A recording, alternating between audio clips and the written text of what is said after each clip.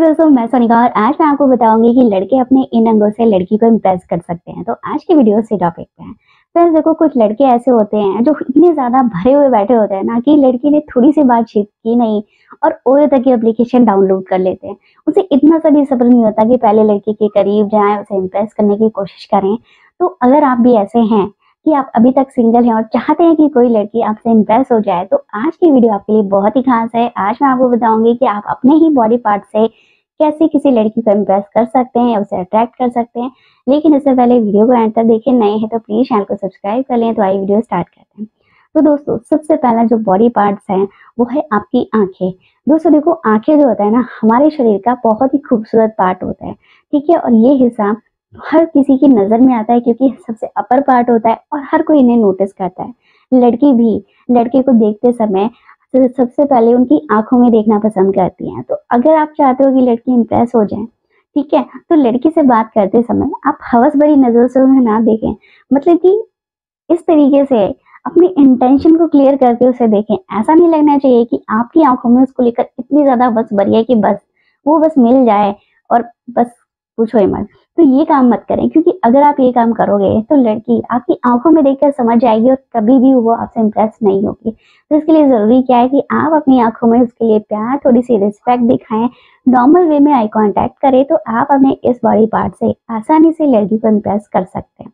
ठीक, इसके अलावा दूसरा जो बॉडी पार्ट है, वो है आपकी चेस्ट फ्रेंड्स देखो, आपकी जो चेस्ट होती है ना, काफ़ी हद तक लड़की को अट्रैक्टिव लगती है। जिस तरह से लड़कों को, लड़कियों की चेस्ट अट्रैक्टिव लगती है, कुछ लड़के जो होते हैं, लड़की की चेस्ट को देख के, उसका साइज़ वाइज सब कुछ नाप लेते हैं। तो ऐसे में मोस्टली लड़कियाँ भी ऐसी होती हैं जो लड़कों की चेस्ट पर मरती हैं, ठीक है?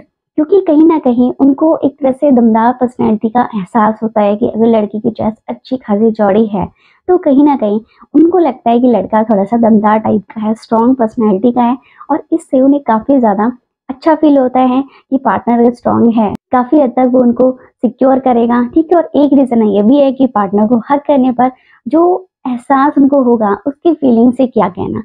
तो इस वजह से लड़कियाँ जो होती हैं, लड़कों की चेस्ट पे भी मरती हैं। इसके अलावा नेक्स्ट जो बॉडी पार्ट है, वो है आपकी बीएड बीएड यानी कि दाढ़ी. आज के टाइम में मोस्टली लड़कियों को बीएड वाले लड़के अच्छे लगते हैं, जो एक तरह से बीएड रखना पसंद करते हैं, लेकिन अपनी बीएड को हमेशा सेट करके रखते हैं. एक तो पहला फ़ायदा ये होता है कि आप इसे मेच्योर दिखते हो, ठीक है? इसके अलावा आपकी जॉ लाइन क्लियर दिखती है, आप बहुत ज़्यादा अच्छे लगते हो, आपका फेस लुक अच्छा लगता है, और इस वजह से आप अपने इस बॉडी पार्ट से भी लड़की को अपनी तरफ़ अट्रैक्ट कर सकते हो या इम्प्रेस कर सकते हो।